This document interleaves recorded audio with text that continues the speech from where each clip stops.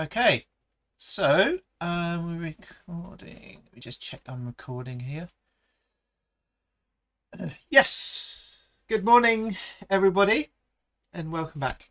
Um, so uh, last week we were doing uh, collage, and we uh, we're using coloured paint, uh, painted uh, pieces of paper alongside whatever else we had. And um, as you saw during the lesson I started to add um, some acrylic paint um, to add some details and things into the picture. Um, so this time though what we're going to do today we're going to kind of reverse that a little bit. Um, and that's uh, to prepare the surface before applying some paint uh, quite heavily uh, to make a painting with a textured uh, ground underneath. Um, so it's carrying on this theme of experimenting a bit, but bringing in, uh, bringing back a little bit of the uh, paint um, as well, the painting techniques. Um, so we're going to have a look at that uh, first of all. Um, the picture that I'm going to be working on um, today is this one. Um, and I might mention this last week. Uh, the picture is really interesting because it's got a nice focal point, which I keep talking about. At the top, we've got all these, uh, we've got the highlight around the sort of cliff top and this um, chap at the top. Now, I thought he was a walker, but he's actually a photographer up there. But I've changed, uh, as you'll see in a minute, I've changed him into a, a walker with a walking stick. Ah, there's Prema. There we go. So um, I'm going to be working on this one. The reason I've chosen this painting is because, uh, this photo rather, is because it's very atmospheric. So we've got all this misty sort of background. We've got strong uh, highlight on the chap at the top. Um, and then also uh, down here we've got uh, these interesting rock formations which again make interesting subject matter for texture and for collaged uh, backgrounds. So I'm going to be working on that one and I'll talk a bit more about what I've already done on that last night. Uh, and then uh, just remind us of what I did with this one uh, last week. Let's make that nice and big. Um, so this was lots of paper um, that I made available on the website for you. Um, I I actually painted some paper with different colours and did blended um, areas. If you haven't seen me doing that, there is a video of me actually making the papers for you to work on. Um, and then I, so I started off with a larger shape such as the mountain and the whole of the stone wall. And then I gradually whiffed it down to smaller shapes such as on the rocks and the posts and so forth. Before then, towards the end of the lesson last week, I I started to add um, little stipples and details with paint. So as I've already said, what we're going to do this week is we're going to um, actually just create a background um, texture um, before then painting back over the top. So I've got a a new painting up on my wall over here just to show you. Um, and this one is by an artist called Helen Harris. And Helen Harris uh, does pretty much the sort of thing that we're doing uh, today. So if we look really closely, you can see there's lots of different papers. So it's a little bit similar perhaps uh, in that she's probably made some of these papers first. But then um, she's painted back over areas. So you've got um, a much smoother area, perhaps less collage at the top and these painted trees and so forth. And then as we move down, you can see all the wrinkly paper uh, and layers of paper that have been applied to create this texture along with a bit of paint added in as well. So um, this sort of thing that um, I'm hoping we can explore a little bit today and probably next week as this um, takes a little while and I've introduced quite a lot of uh, new techniques for everybody to try out um, at the moment. So um, we're probably going to work on this one next week as well and I'll probably do another example of a picture to show you. Now this sort of lines in with uh, the way that I often work uh, and I've shown you this one before a few times as well. So on my painting called which I've just called Blue Coast, it's quite an old painting. uh, now, but um, I used to do a lot of work like this previously. So in the foreground, so we're in the foreground here, we've got lots and lots of texture that I've built up on the surface with cardboard and um, various papers and some fabrics and things in there. Um, and when I say fabrics, when I say fabrics, I mean uh, things like sackcloth and things that are pulled apart a little bit to create this kind of stringy uh, effect or the effect that looks like grass. And I've also, on top of that, also done splattering, uh, lines, um, little stipples of dots and things like that too. So there's a whole lot of stuff going on in the foreground to draw the attention of the viewer. And then as we go back, it becomes a little bit smoother. So on the sea there, I've got uh, less texture um, applied to the picture. Uh, there is some in there. I'll just get in a bit closer. so we can see bits of string coming through, uh, bits of tissue that I've layered up, um, but I've also then painted very heavily over the top.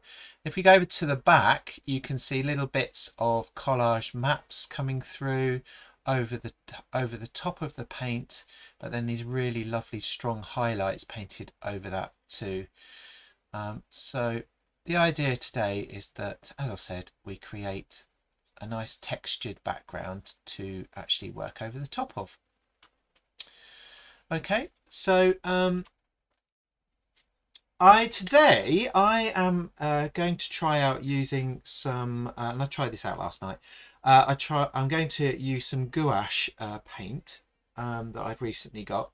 Um, so there's a difference between gouache and acrylic. So gouache is like a thick, a thicker sort of watercolor paint. It's more of an opaque, opaque uh, watercolor paint. And the nice thing about this is that when it's dry, you can actually uh, reinvigorate it, bring it back to life by just adding a bit of water. So it's, it's a really uh, nice medium to work with um, and uh, you know it's quite flexible from that point of view. Um, whereas acrylic, which we uh, often use, and if you haven't got gouache, then use acrylic today. Acrylic will dry quickly, and once it's dry, uh, usually you can't do too much with it. So it's once it's dry, it's set. It's like a, a plasticky resin sort of um, paint. Um, which is quite nice for layering if you don't want the layer underneath disturbed in any way then you can put another layer on top of that and uh, build up those layers as you've seen uh, that we've done previously.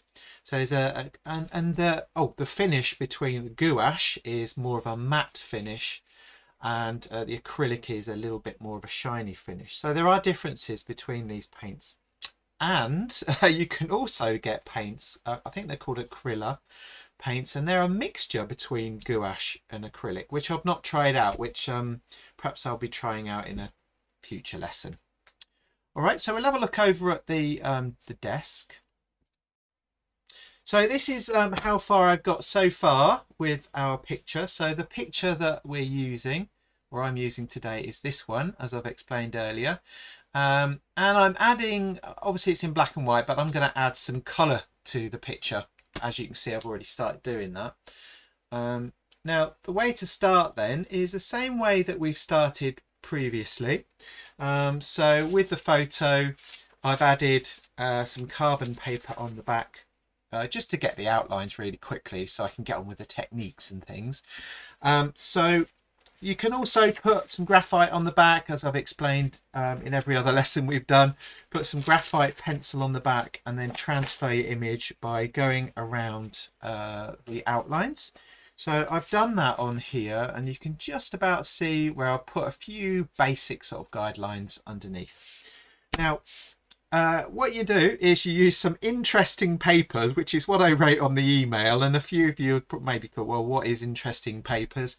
So it's anything you can find. It can also be uh, some of the papers uh, which we've made and that you've been printing off previously. So we've got all of the all of these.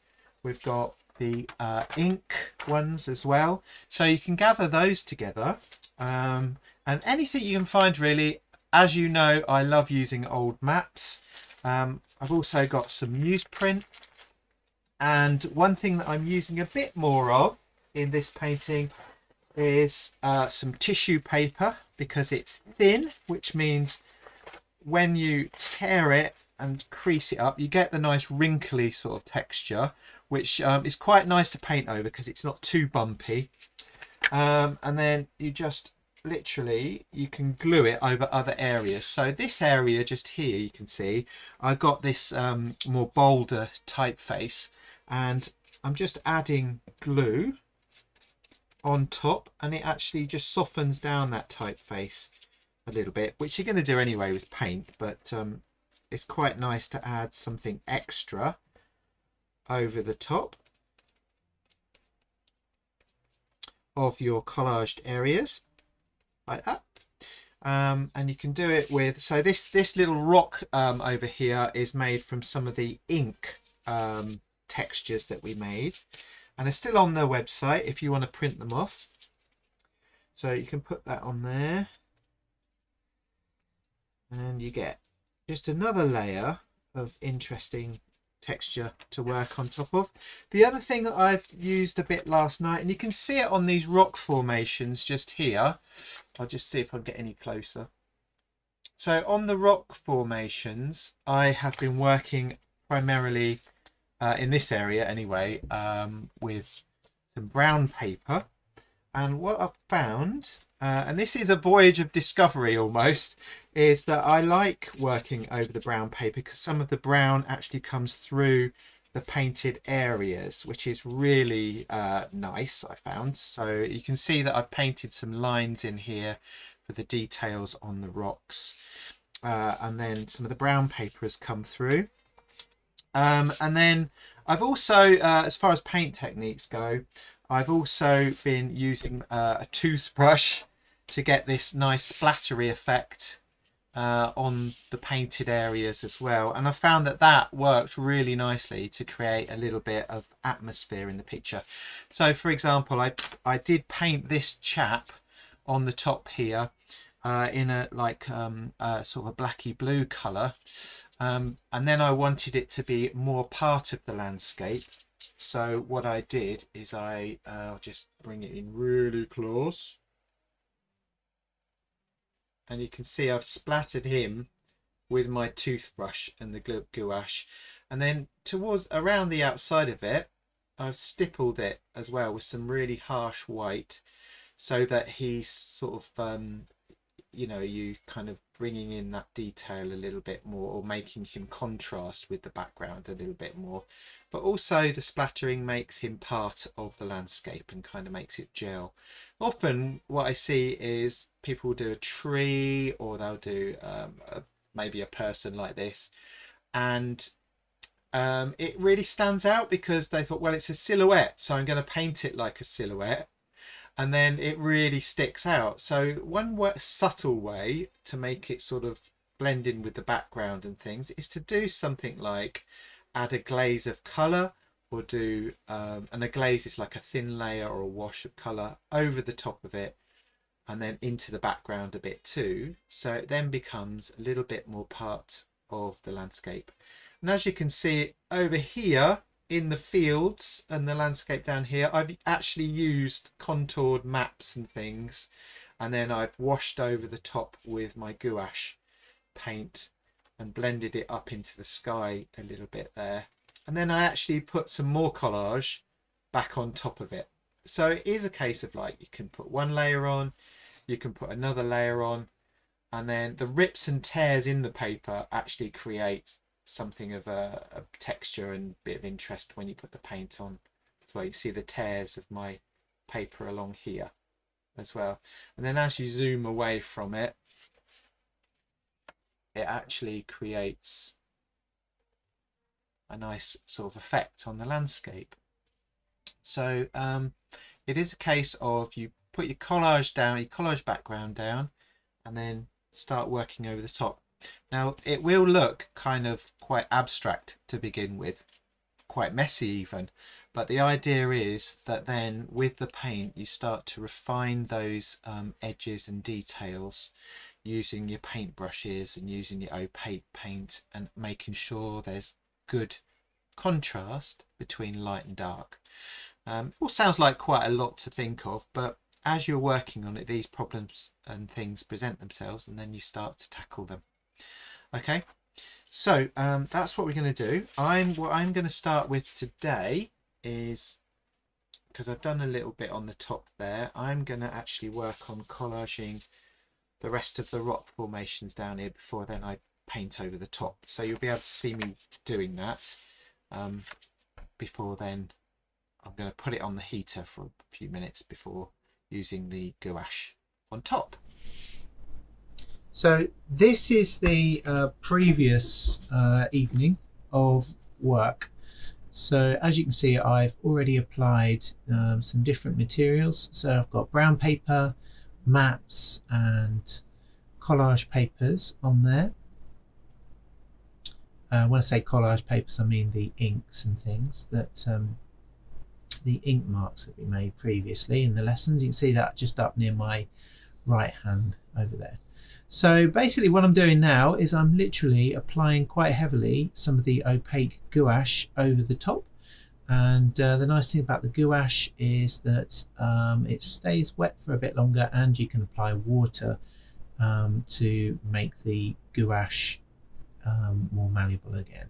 In other words, you can blend it even after it's dried, which is fantastic um, in comparison to acrylic, obviously, which uh, once it's dry, you have to kind of restart again and get some more paint and work back over the top, which is another nice quality. Um, for this, we're just trying out the old gouache at the moment. So I'm just using some of the blue from the uh, Artex set that I've got here to layer over some paint and do a little bit of blending as I go. Uh, the nice thing about this set is it's got little um, open containers with the paint in so literally you can just dip your brush in and get the extra bit of color you want. So it, it does allow for a little bit more of a free flow of um, working which is really nice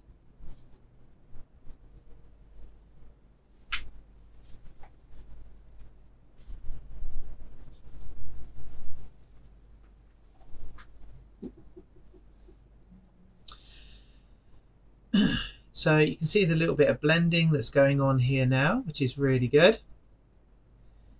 Uh, and I decided to get in there with the figure um, quite early on. Now, um, what I did earlier um, as well is I used the uh, carbon paper just to sort of uh, trace the outline of the figure so that I could get that straight in there along with all the, the outlines of the painting it just allows really for you to get going with the technique of collage and then working back over the top to create the texture.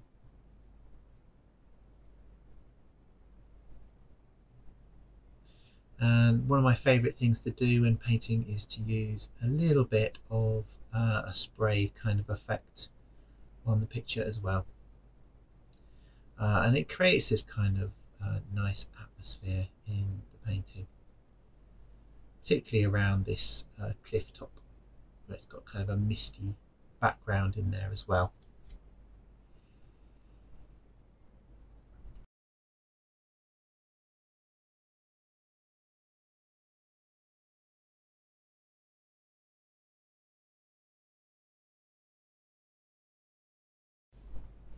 So you can see it's going a little bit faster now. Um, working just on the uh, rocks and things. I'm using more lines um, on the rocks uh, to describe the cracks and crevices and, and things on the rock that the man is standing on. And I'm just quite, I work quite loosely with the paint actually, kind of just putting in um, marks and blending it quite loosely because what I know is that I'm going to work back over the top of these areas later. So just getting a bit of colour in there or a bit of the grey in the sky anyway is really important because um, it just allows a little bit of freedom to then add the layers of detail on the top. And the thing about painting, and drawing, any of these things is as you're working, you see new things that perhaps you didn't notice when you first looked at the picture. In fact, you know, doing a painting uh, from a photo or landscape being outdoors um, it is like a forensic kind of operation and you're looking really carefully at things. Whereas normally in life, you, you glance at things, you might take in the atmosphere of a place, but not really forensically looking at the detail uh, like we do in a painting or a drawing. So as you can see, I'm adding in lots of the details into the um, rock faces and I'm using contrasting tones of this grey. And I wanted to get a bit of colour into the grey um, of the rocks as well. So I've added little stipples of blue. Uh, what I'm doing here is I'm stippling dots or doing dots of white paint around the figure of the man to draw a little bit more attention to him by using that highlighted sun that you can see in the photograph up there in the corner.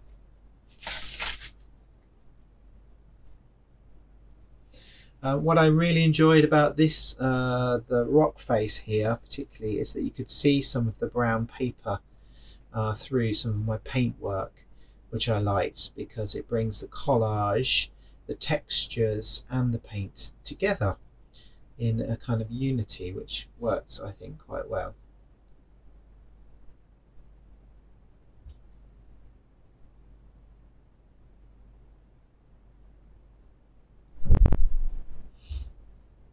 and uh, up there in the corner you can see a little bit of the um, inked patterns that I made um, a few uh, weeks ago.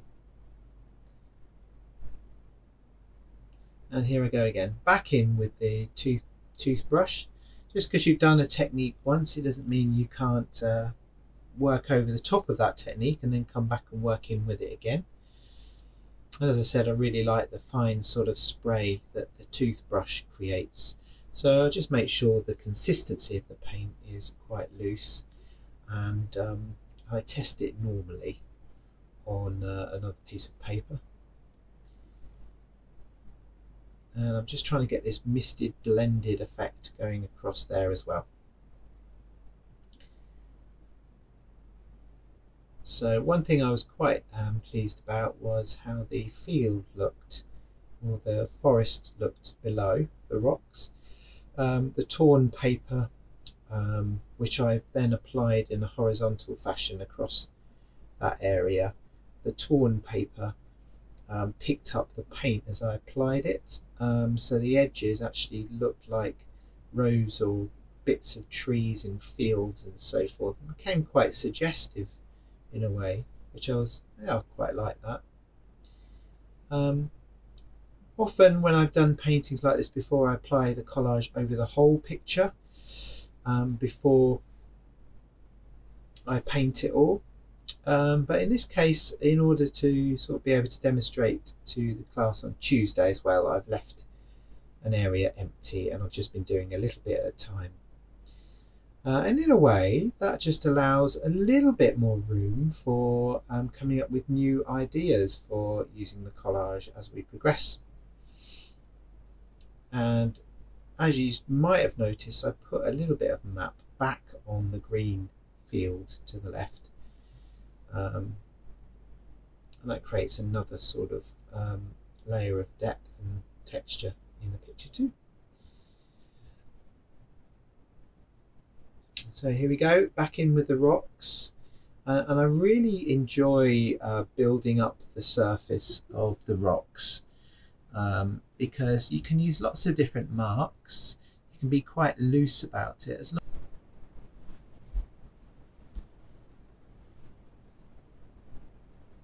So there we go. Building in quite rapidly into the rocks. And as I've said to you before, it is a case of adding layers and you can see me working back over some areas here too.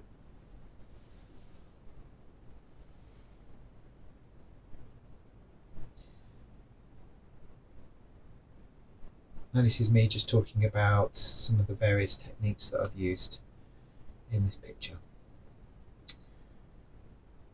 Okay.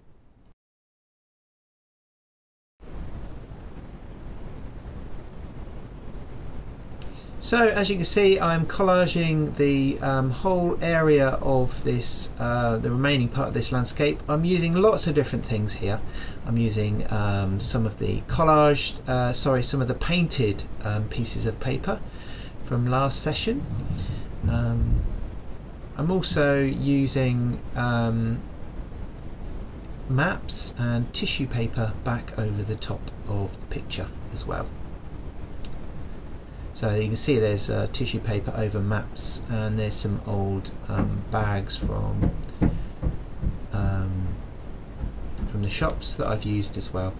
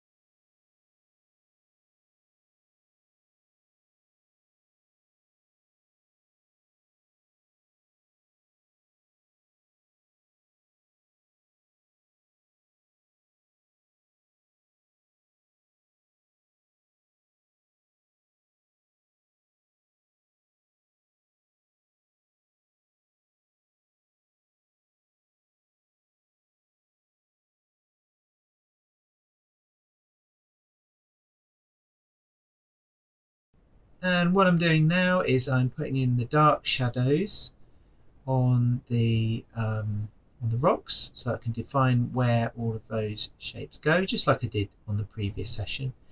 Uh, the nice thing here is we're building up lots of layers of colour and tone to create the texture. And I do use the toothbrush, which you'll see me using uh, in a little while as well. But basically, I'm, I'm doing the mid, the um, highlights, midtones, the highlights and the shadows to start building this up. And you can see I've added, applied very loosely an area of green, which I'm now applying some more yellows. We're going for a darker tone down the bottom and lighter colours up towards the top, which you'll see me putting in in just a few seconds as well.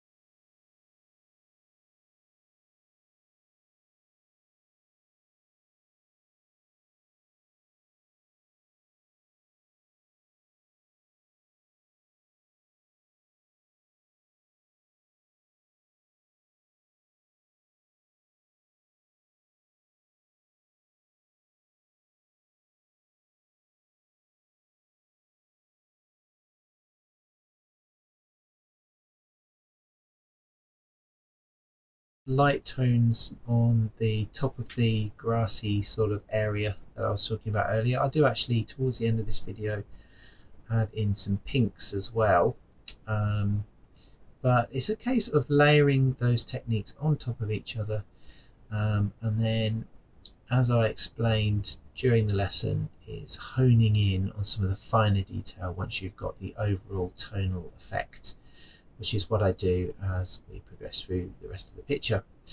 Um, next week I'll be doing just a bit more work on this picture um, before trying something else out. But um, as you see, it was a, a really good um, exercise in using different textured papers to create a wonderful um, landscape.